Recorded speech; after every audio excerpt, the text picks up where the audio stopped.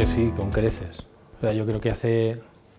hace 10 años, si nos dicen que, que hoy Vascular estaría ya donde está y que tendríamos todos los productos que tenemos, eh, ni los más optimistas. Yo creo que han, han excedido las, eh, las expectativas que teníamos. Yo creo que a los médicos lo que, lo que les aporta el dispositivo, o todos los dispositivos de Vascular, es, es toda una, una amplitud de productos, un catálogo muy profundo y en las circunstancias en las que nos está tocando vivir ahora, sobre todo pospandemia, con la dificultad en acceso a materias primas, con la dificultad en transportes internacionales, aquí sí que en el, en el foco cercano para aquellos eh, usuarios españoles lo que les da es la garantía de poder tener acceso a esos productos que,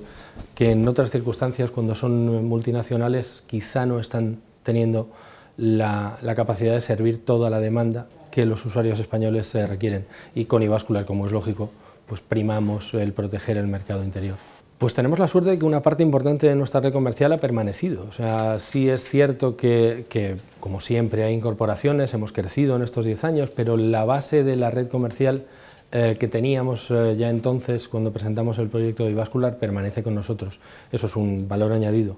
Y la red lo que ha ido haciendo es ir incorporando toda esa serie de productos y toda esa serie de novedades, formarse e intentar acompañar también al usuario final, al médico que es nuestro, nuestro cliente, en la adopción de esos nuevos productos, en la asimilación de esas eh, pequeñas novedades que pueden incorporar esos productos, porque nuestra intención es estar acompañándolos hasta el proceso final del uso te diría que muchas, pero por sintetizar, estamos yo creo que particularmente ilusionados con el último producto que Ivascular ha sacado para la especialidad de, de, cirugía vascular, que es un stent cubierto que la suerte es que a día de hoy es puntero en tecnología. Existían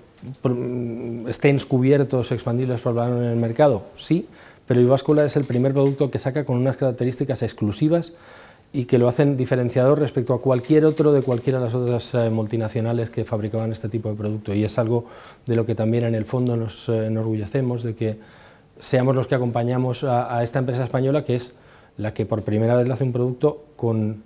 con unas características diferenciadoras a nivel mundial. Al paciente quizás al que menos le ha cambiado la vida. Lo único es, quizá él no sabe que con Ivascular tiene la garantía de que ese producto el usuario lo va a tener, que es lo que decía antes, ahora en los últimos meses está viendo verdaderas dificultades, también como Cardiva la sufrimos con otras empresas que nos proveen, que son multinacionales y como no tienen toda la capacidad de cubrir la demanda, pues deciden dónde envían el producto.